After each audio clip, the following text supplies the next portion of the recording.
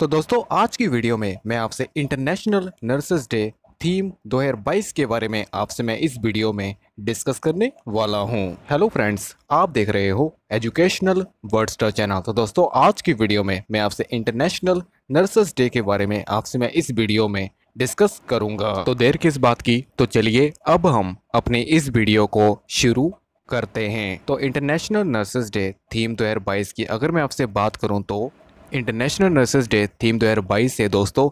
Nurses a voice to lead invest in nursing and respect rights to secure global health इसका जो हिंदी में मतलब है, वो है दोस्तों नर्सिंग में हमें निवेश करना चाहिए और वैश्विक स्वास्थ्य को सुरक्षित रखने के लिए उनके अधिकारों का जो है, वो सम्मान करना चाहिए। तो इंटरनेशनल नर्सेज डे हर वर्ष आता है। इस दिन को मई के महीने में सेलिब्रेट किया जाता है। जब 12 मई का दिन होता है तो इंटरनेशनल नर्सेज डे को सेलिब्रेट किया जाता है। तो जैसा कि आपको पता है कि जब कोई पेशेंट बीमार होता है, तब डॉक्टर और नर्स उसकी देखभाल करते हैं। वह दिन रात लोगों की सेवा करते हैं।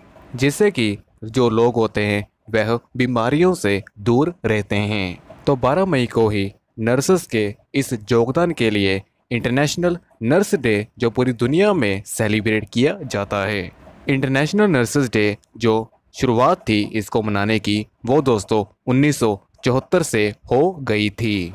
तो दोस्तों, इस वीडियो में मैंने आपसे इंटरनेशनल नर्सेज डे 2022 थीम के बारे में आपसे मैंने इस वीडियो में डिस्कस किया है। मुझे लगता है कि आपको इस वीडियो के माध्यम से काफ़ी अच्छी जानकारी आपको प्राप्त हुई होगी।